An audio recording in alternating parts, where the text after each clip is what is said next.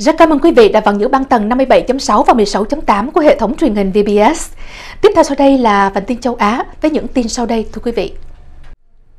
Rất cảm ơn quý vị đã vào những băng tầng 57.6 và 16.8 của hệ thống truyền hình VBS. Tiếp theo sau đây là phần tin châu Á với những tin sau đây, thưa quý vị.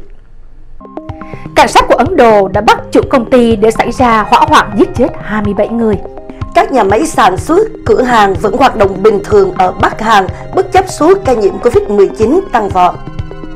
Nông dân Indonesia biểu tình phản đối lệnh cấm xuất cảng dầu cọ. Tân Tổng thống Philippines Ferdinand Bongbong Marcos bí mật đến Australia. Và sau đây mời quý vị theo dõi phần tin chi tiết. Cảnh sát Ấn Độ bắt chủ công ty để xảy ra hỏa hoạn giết chết 27 người Thưa quý vị, cảnh sát vào ngày thứ Bảy đã bắt hai sở hữu, chủ của một công ty sản xuất và bán camera an ninh đã để xảy ra hỏa hoạn tại văn phòng làm việc tọa lạc tại tòa nhà cao 4 tầng ở thủ đô của Ấn Độ, làm tổng cộng 27 người thiệt mạng và 12 người khác bị thương.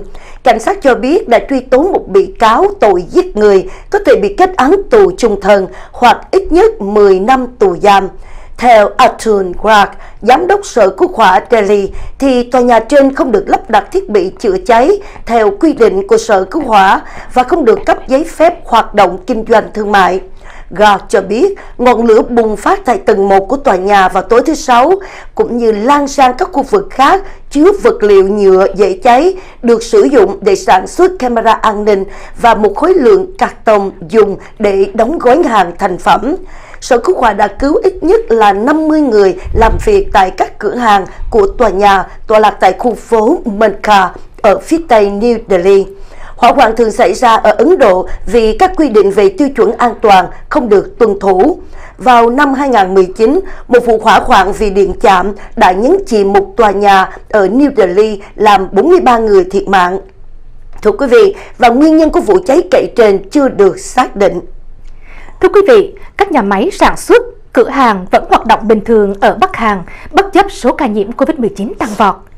Giới chức y tế của Bắc Hàn vào hôm thứ Ba thông báo là có thêm 270.000 người bị sốt vì nhiễm COVID-19. Hãng thông tấn Trung ương Bắc Hàn hôm thứ Hai đã ghi nhận tổng cộng là 1.4 triệu ca sốt và 56 người chết vì bệnh này kể từ cuối tháng 4. Theo BBC, thì Bắc Hàn chưa coi đợt bùng phát cơn sốt là đại dịch COVID-19 vì thiếu dụng cụ xét nghiệm, cản trở việc chẩn đoán bệnh một cách chính xác.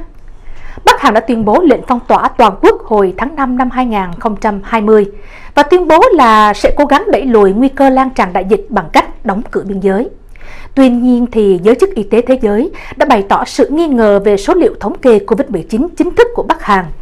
Hôm thứ Năm tuần vừa qua, Bắc Hàn lần đầu tiên tuyên bố là đã có người chết vì COVID-19 biến thể Omicron ở Bình Nhưỡng và kể từ đó thì thừa nhận là số người bị sốt tiếp tục tăng, đặc biệt là sau cuộc diễn binh được tổ chức vào hôm 25 tháng 4.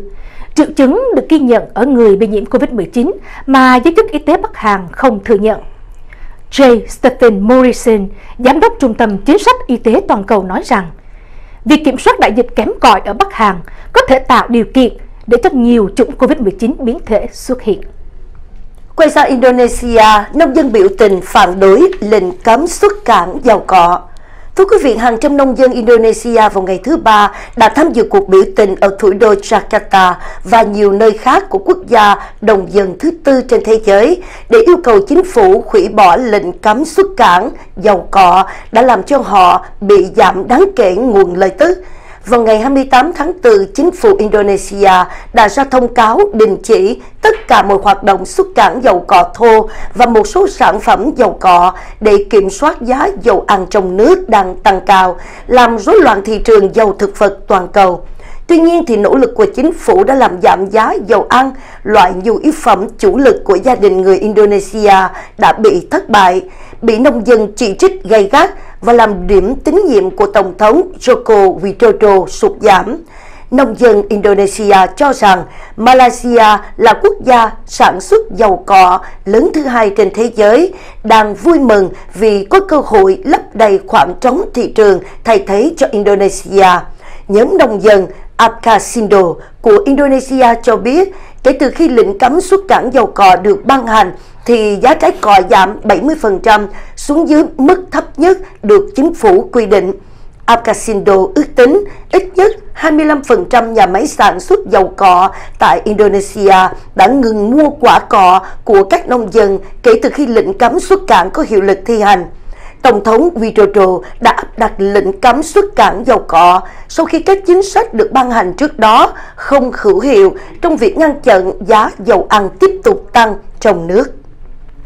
Thưa quý khán thính giả, tân Tổng thống Philippines ông Ferdinand Bongbong Marcos đã bí mật đến Australia. Chỉ vài ngày sau khi trở thành nhà lãnh đạo mới của Philippines, Ferdinand Bonbon Marcos Jr. đã bí mật thực hiện chuyến công du đến Australia. Con trai có cùng tên của cựu lãnh tụ độc tài Philippines đã giành chiến thắng trong cuộc bầu cử tổng thống hồi tuần vừa qua, đã đưa gia đình khét tiếng là độc tài trở lại nắm quyền sau 36 năm sống lưu vong ở Hawaii. Kết quả của cuộc bầu cử sẽ không được xác nhận cho đến khi mà Quốc hội của Philippines họp ở Manila vào tuần tới và ông Marcos sẽ không phải tuyên thệ nhậm chức khi bắt đầu nhiệm kỳ tổng thống kéo dài 6 năm. Người đàn ông 64 tuổi này đã bay đến Melbourne, nơi mà cậu con trai út tên là Vincent của ông đang du học. Chuyến đi được dự kín nhưng thành viên cộng đồng của người Philippines ở Melbourne đã phát giác tụ tập phía ngoài khu chung cư của thành phố vào hôm thứ Ba để phản đối sự hiện diện của ông này. Trước khi bị lật đổ trong cuộc nổi dậy vào năm 1986, Ferdinand Marcos đã cai trị Philippines suốt 21 năm, duy trì một chế độ đàn áp tàn bạo, gồm có việc tra tấn 34.000 người, giết hại hơn 3.000 người bất đồng chính kiến. Ông Marcos cũng đã bị buộc tội là chiếm đoạt tài sản trị giá ước tính 10 tỷ Mỹ Kim của người dân Philippines. Những người biểu tình cho biết Vincent Marcos, 25 tuổi, người trẻ nhất trong số ba người con trai của Tổng thống Tần Cử đang chuẩn bị thi tốt nghiệp bằng tiến sĩ tại trường đại học Melbourne. Và kính thưa quý vị, vừa rồi là bản tin châu Á. Sau phần quảng cáo thông tin thương mại, một lần nữa chị em chúng tôi sẽ trở lại để gửi đến quý vị phần tin Việt Nam.